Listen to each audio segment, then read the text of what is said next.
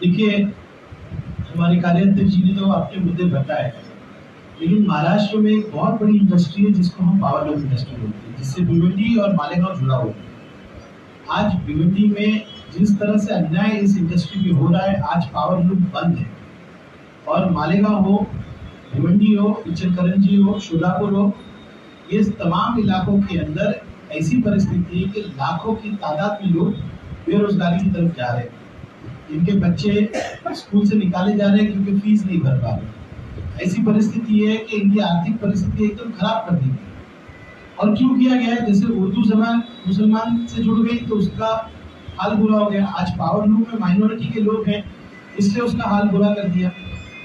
तो जैसे हमारे कार्याध्यक्ष ने कहा कि जो मुद्दे होंगे अब मालेगांव भिवंडी मिलकर टेक्सटाइल के मुद्दे को पूरी तरह से उठाएगा। मैंने तो भिवंडी में ये कहा है आसिम भाई, जब सभा में आए थे, कि अब बुनकर अपना कारोबार बंद करके हड़ताल नहीं करेगा।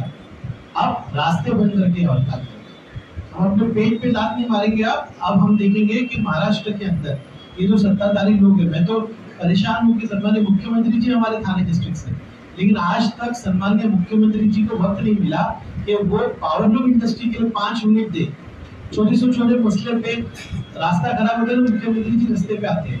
लेकिन पावर लूम के मुद्दे पे आज तक सम्मान्य मुख्यमंत्री जी ने एक शब्द नहीं कहा। और जब महाविकास आघाड़ी की भी सरकार थी तो टेक्सटाइल पॉलिसी की बात की गई, मुकम्मल नहीं हुई। इस बार टेक्सटाइल पॉलिसी बनाई गई। सन्मान्य चंद्रकांत दादा ने उस पर भिवंडी के प्रतिनिधियों को बोला कि हाँ मैं भिवंडी के एमएलए को लूँगा। साढ़े पाँच मिनट भी बोले नहीं दिया गया। इतना बुरा हाल है? एक मीटिंग ली गई तो ये जो मुद्दा है, जोरदार तरीके से समाजवादी पार्टी उठाएगी।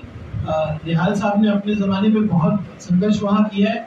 तो मुझे लगता है कि आप ये दोनों ताकत एक साथ होगी तो हमारे अध्यक्ष वासिम आदमी साहब और कार्य अध्यक्ष जी की अध्यक्षता में आप टेक्सटाइल के मुद्दे को पूरे महाराष्ट्र में ज़रूर जाएँगे।